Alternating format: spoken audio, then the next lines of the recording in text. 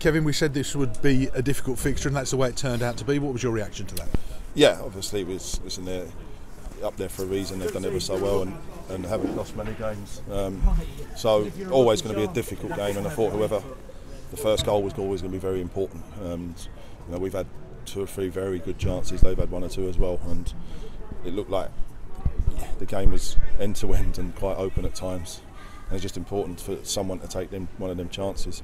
How frustrating that you didn't, because there was, as you mentioned, real big opportunities for Blues. Yeah, there was. There was, uh, you know, two or three that, you know, another day, you know, Carsman, he scored a couple of unbelievable headers, and you're just waiting for it to nestle in the net, um, but it just went the wrong side of the post. And you know, I thought we started ever so well, and then we just dropped off a little bit, and we were half a yard off second, picking up second balls and getting on top of the game. And if you pick them up, then you're on the front foot. And um, yeah, disappointing then in the second half that go one behind, but you know we got ourselves back in the game and we're dominant then for a good period. That you need a chance to go in or you know a ball to drop and to, to get it back level because we were we were gambling and throwing people forward and then you're always susceptible to another.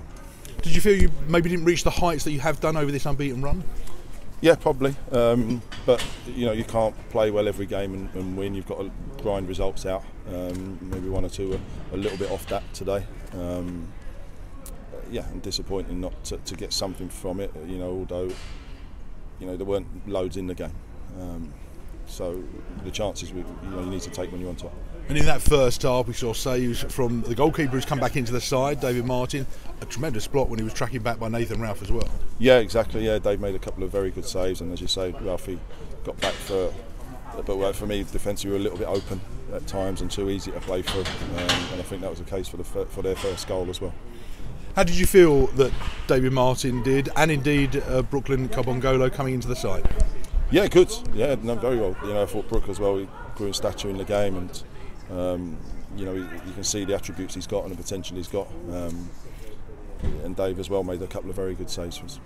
The key now is to bounce back. It's not going to be easy though against Chesterfield on the way. No, not at all. But you know that's that's where we're at. You can see we're obviously short, and you can see we need one or two bodies just to help. And because you know when you the likes of Cav and Harry Taylor are out, you, they're big losses. Um, even though the ones coming in done well, but you know a lot of teams, you know, with that's why you need a squad so that you can cope with the injuries and suspensions. And potentially off the field, this could be a big week for Southend United as well, couldn't it? Yeah, absolutely. And you know that's the bigger picture, obviously. And you know, fingers crossed that all goes well.